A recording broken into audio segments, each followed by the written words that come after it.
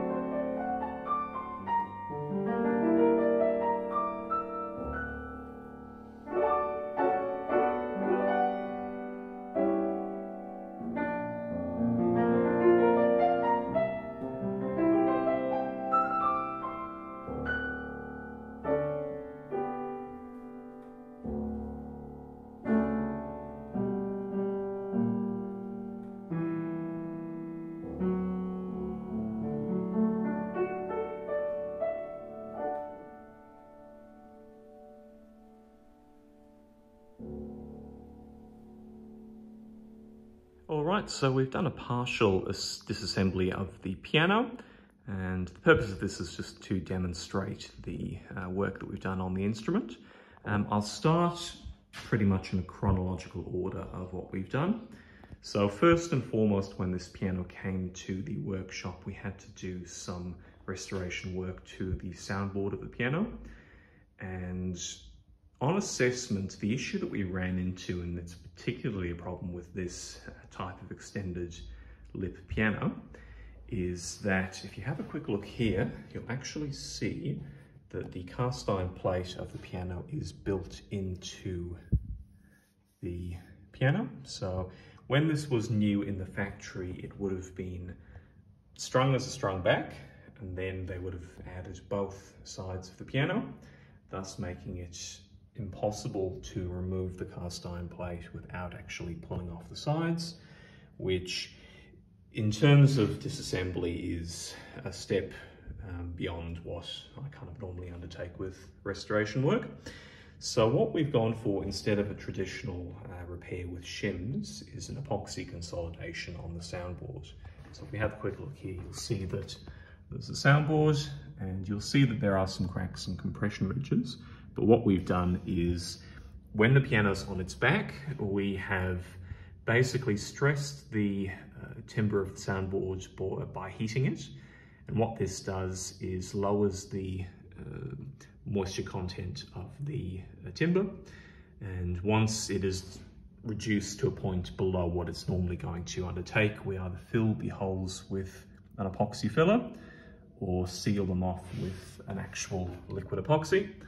So the theory is once it sets and once the instrument uh, returns to a standard sort of equilibrium moisture content of the uh, soundboard, uh, you have additional crown that wasn't there previously. So as you can see, um, this has all been restrung and we've put new listing felt in there, uh, new tuning pins.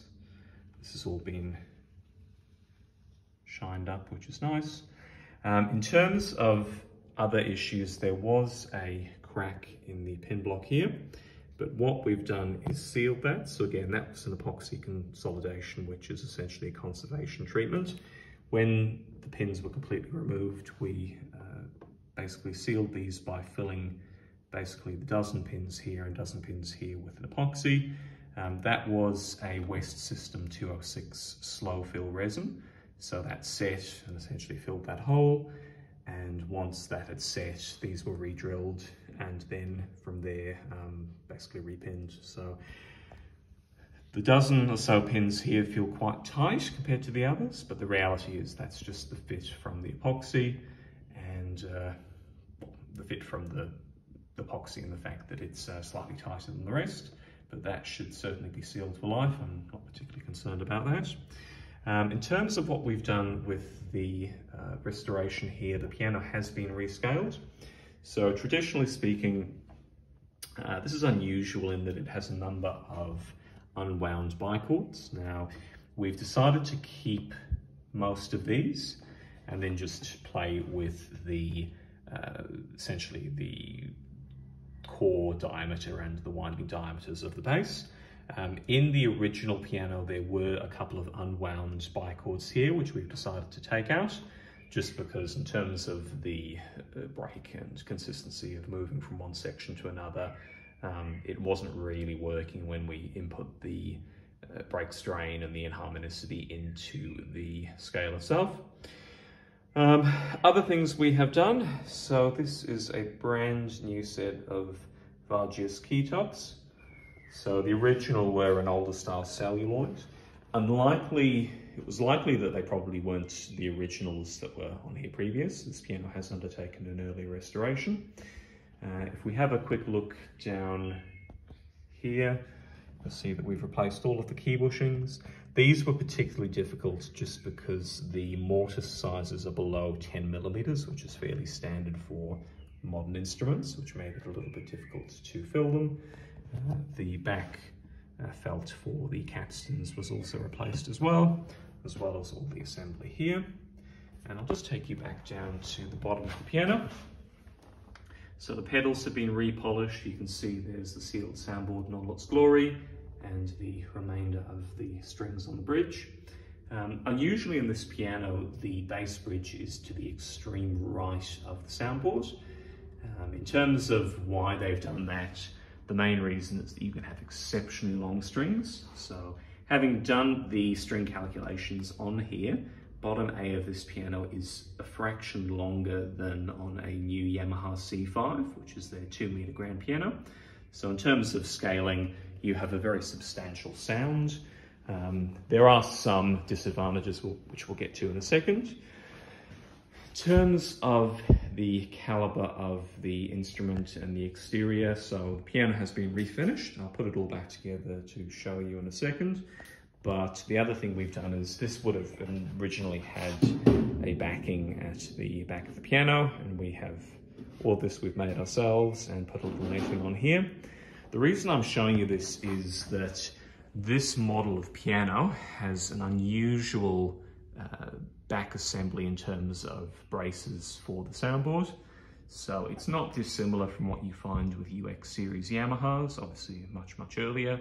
But in terms of the way that it was designed and built, they really did a lot of research and were very particular about making sure that the soundboard stays in a certain uh, curvature and also that the structure was stable. Uh, now just moving over to the action mechanism here. So what we've done with this, it's essentially a complete replacement of most of the components. Um, I'm just going to do a slight backtrack and grab a few of the older samples to show you. But the first thing that we did was replace the dampers on this piano. So this is a brand new Tokiwa damper assembly and there's a few unusual things happening in the bass here, but I'll explain that in a second. Um, here is, I'll just show you a picture of what we had originally. So this was the original damper mechanism that was on the piano. And most unusually with this, if we have a look at how this works here, you'll see that there is a return spring located behind the action lever. So if we just have a look here, you'll see that basically what happens is when the lever returns back, uh, the spring just down the bottom here releases it and makes it push back against the strings. Um, and you'll see that it's actually attached to the top of the action rail. Interestingly enough, with this model, looking at this, um, these were traditionally attached to the side of the action rail. And um, the reason that were replaced, there's two reasons, one of which is that the felt was glued to this here. And in terms of adjustment, there was very little adjustment that could be made to the felt position, just because this was a solid piece of timber, whereas most modern assemblies, as you can see, have uh, little wires that can be bent and adjusted. And as I said, this is like a full Tokiwa assembly with new damper felts.